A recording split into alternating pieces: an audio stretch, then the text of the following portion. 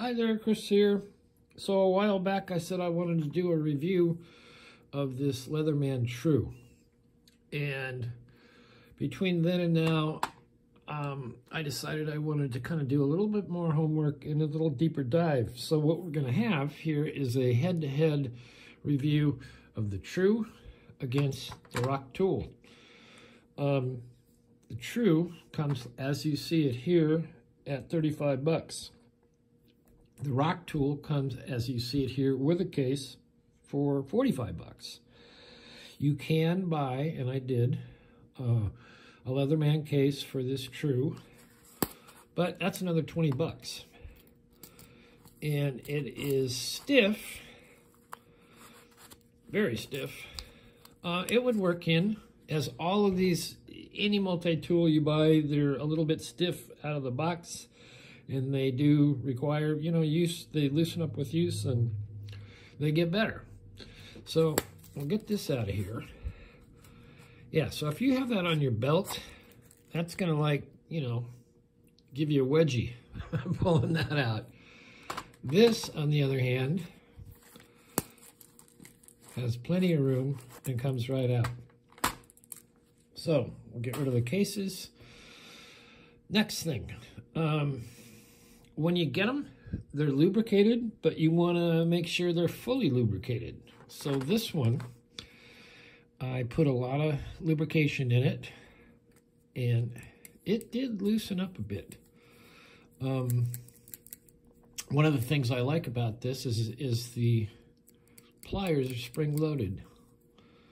Uh, that's one of the things I like, but what else? Can you do this one-handed? Yes, you can you can basically do that. Now, a note of caution, you play enough, play around with blades enough, you're gonna cut yourself. So it is always better to use two hands, in my opinion. Now, this, to release this, you have to push down on here, and that one seems to work pretty good. Um, you have an awl on this one, and a can opener and I think a wire stripper. Maybe it's on the other part. So this has the same thing. You have to push this thing down, but you know what? You really, really have to push that thing down, and you almost have to push it down into one side. So I don't really like that. It has a saw. There again, not too tough. Um, two hands are better than one. And this, this little release seems to work a little bit better there. It's the middle one that doesn't work so well. This one also has, come on, this has a double stop. Not sure that's, you know, so helpful, but you have to push this down and then it's magnetic and you have two different bits. And I'll tell you, you kind of have to fight with this one a little bit to get it out. It takes a little bit of, of getting used to. So, and here again, well, that works pretty good. All right, so up, oh, it has that, that double stop, which fools you. What else we got on here? I think that might be it. Oh, it has a deep, if you don't want to do the case thing, it has a deep carry pocket. Both of these multi-tools are four inch. My parameters are, you know, 50, 50, 60 bucks. I'm willing to pay for for that. Um, you can buy multi-tools from anywhere from $10 to the most expensive Leatherman is about $190. They come with different, more exotic handles, maybe different hardnesses of blades, blah, blah, blah, blah. A few more tool, tools. Actually, not all that many more tools. But that's kind of kind of that. This one, out of the box, and I worked with this. I worked with this, and I worked it and worked it and to, to loosen it up, and it did loosen up. And I lubricate it with 3-in-1 uh, oil. I have no problem with that. This one right out of the box is very loose. Doesn't have the spring thing, but that doesn't break my heart at all. Um, and although I don't have a, enough room on camera to show you this, you can one hand, let's see if I destroy the set, you can activate it one-handed, which is kind of nice. Um, so there is that. This has a little thumb nick here, and you get this guy out. And this is just double-sided. I like that system a lot better. You're not fighting with anything. You're not trying to get in somewhere.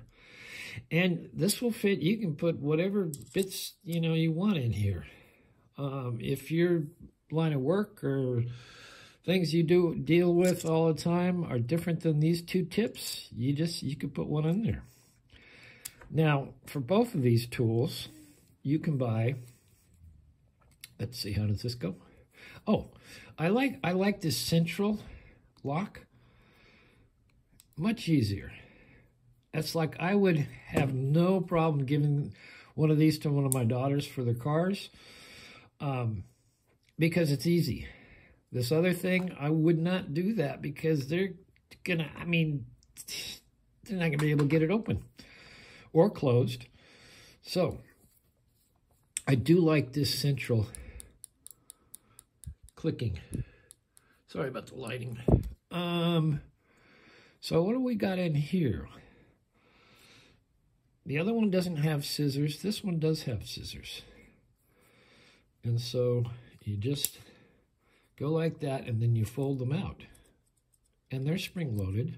And to close it, you want to go like this. Um, do, do, do, oh, central, central, you just press that central guy and it goes back down. Now, if you want these other guys, let's see if I can get those out. They all tend to want to come together. So this one has a wire stripper and a can opener. And what else we got in here? We have, we saw that guy. We have a little glasses uh, thing. We have a big blade. And they go in quite nicely. So what if you want to use one of the blades? Well, they're right here. And I like this. It's a positive stop on both of those. That and the saw, wherever the saw. Here's our saw. Do, do, do, do, do, do. Oh, it has a nail nick. And it's a very positive stop. Very nice. So already you can see where I'm going with this. 45 bucks. Works like that out of the box. Comes with a case. Where's our case? Comes with a nice case that you don't have to fight with. Awesome. Now, I did say I would talk about lubrication. Um, you want to keep them lubricated. You want to keep them clean. To clean them, you can just use um, glass cleaner, Windex, and clean them up and then re-lubricate them. Now, like I said, I have three in one um, on this one. This one I have not even lubricated. If you want to take these camping, which these are great tools to have camping, uh, what you want to do is, first off, take your Windex and clean off, clean out all the lubrication that's on there. And then what you want to use is a mineral, a food grade mineral oil. And it's often um, sold as butcher block treatment or butcher block uh, seasoning. It imparts no taste to your food. So if you have three in one in oil in there or something else, you're sitting by the campfire and you cut a hunk of sausage or a piece of cheese or a piece of crusty uh, French bread and you eat it, all of a sudden you think, God, it tastes like I'm in the garage. I'm not camping. this tastes sort of, sort of uh, petroleum-ish. So there you go. This would be my choice. 45 bucks delivered. I don't think you can beat it. Um, you like I say, you can spend more and get more exotic handles or different. I didn't show this. This has a diamond file. It has a regular file. And this regular file, it's okay. I mean, you could do your nails or something, but not that big of a deal. So there again, it has a little closer. So I really like this one. Um, I will carry this and use it and see if it gets worked in a little bit more, but this would be the one, if I was going to be carrying one every day, which I may, this is so cool, it would be this one. Anyway, thanks for watching. Hit the like, subscribe, ask a question, leave a comment, and we will see you next time.